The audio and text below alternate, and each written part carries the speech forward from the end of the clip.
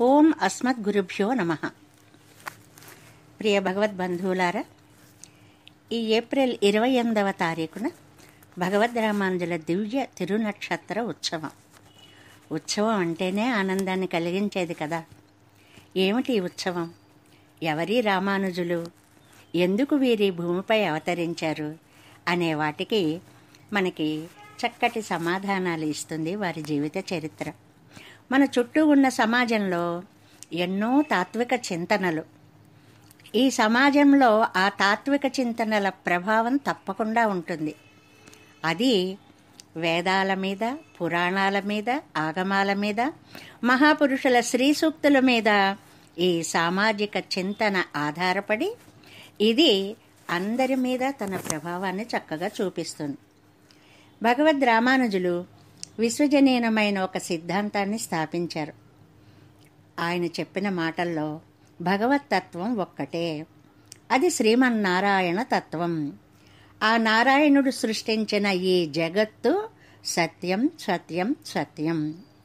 ప్రకృతి ఎప్పుడూ పరిణామశీలంగా ఉంటుంది మారుతూ ఉంటుంది. ఏమిటా మార్పులు? అవి ఆరు రకాలు. జాయతే పుట్టడం అస్థి ఉండడం విపరిణమతి మార్పు చెందుతూ ఉండడం సమేధతే పెరుగుతూ ఉండడం అపక్షీయతే తరుగుతూ ఉండడం వినశ్యతి కనిపించకుండా పోవడం. వీటినే షడ్భావ వికారాలు అంటారు. వీటన్నిటినీ సప్రమాణంగా సిద్ధాంతీకరిస్తూ భగవద్ రామానుజులు ఈ లోకానికి దివ్యమైనటువంటి ఒక సిద్ధాంతాన్ని అందించారు. భగవద్ రామానుజులు ఆ నామం తలుచుకుంటే చాలు. ఆ దివ్య మంగళ విగ్రహం మన మనస్సులో ఒక దివ్యానందాన్ని కలిగిస్తుంది.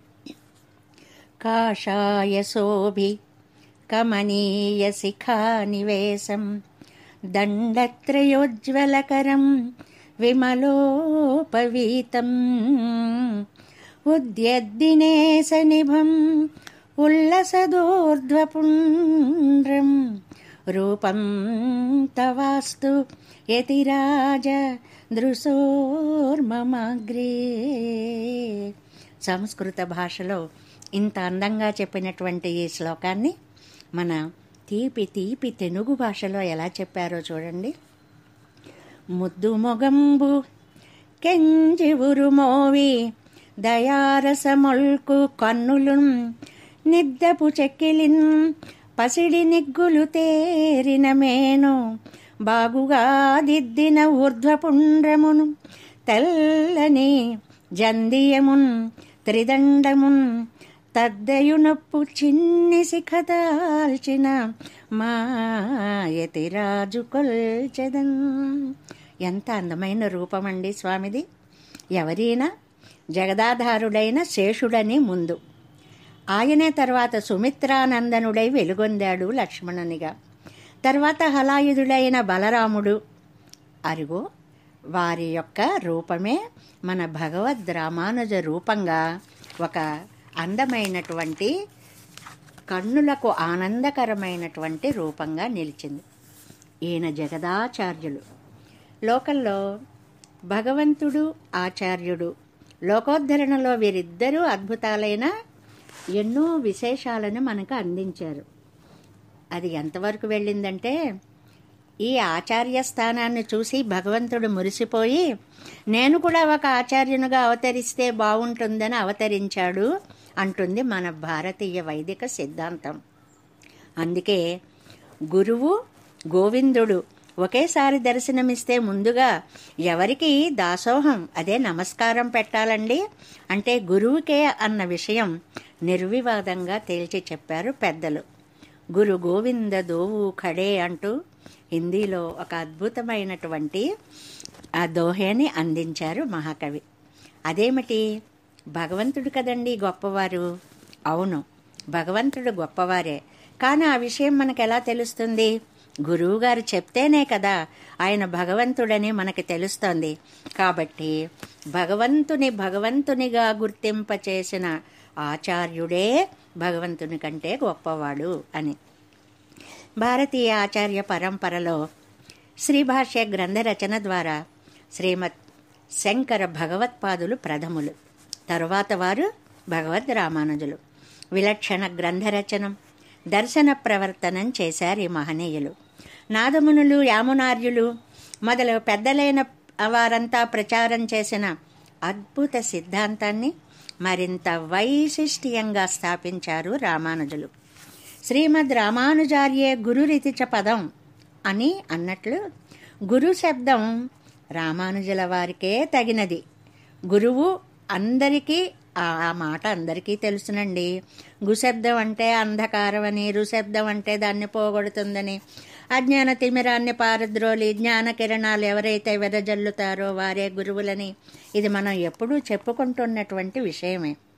కానీ అసలు ఆచార్య పదం అనేటువంటి దానికి మరింత వైశిష్ట్యం చేకూరుస్తూ ఆచినోతి శాస్త్రార్థాన్ని ఆచారే స్థాపయచ్చపి ఏమండి శాస్త్రం కేవలం తెలుసుంటే కాదు దానిని ఆచరణ పర్యంతం తీసుకువస్తేనే ఆ ఆచార్య పదం సార్థకమవుతుంది. ఓహో! అయితే రామానుజులు ఏం చేసి ఈ ఆచార్య పదానికి అన్వర్ధతని చేకూర్చారండి? అబ్బో ఎన్నని చెప్పమంటారు. ఒకటా రెండా? ఒకటి రెండు చెప్పుకుందాం. మంత్రాన్ని కులమల మతాలకు అతీతంగా సామాన్య మానవులకు అందించిన ఉదార హృదయులు మన రామానుజులు. కులం లేదు మతం లేదు. వీటికి అతీతంగా అందరూ భగవద్ ధ్యానం చేయాలి చేయవచ్చు. అంతేకాదు వ్యాస భగవానుని బ్రహ్మసూత్రాలకి శ్రీభాష్యాన్ని అందించిన సంప్రదాయ ప్రవర్తకులు మన భగవద్ రామానుజులు.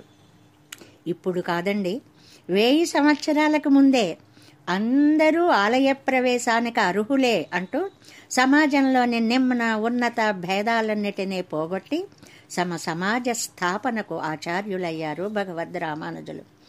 ఆధ్యాత్మిక సామ్యవాదాన్ని సామాజికంగా ఆచరణపూర్వకంగా అందుబాటులోకి తెచ్చిన గొప్ప సంఘ సంస్కర్త మన భగవద్ రామానుజులు. ఆ మహనీయుని ఉదార ఆశయాలను అర్థం చేసుకుంటే మనం కూడా ఆ శాంతి మార్గంలో నడవగలుగుతాం.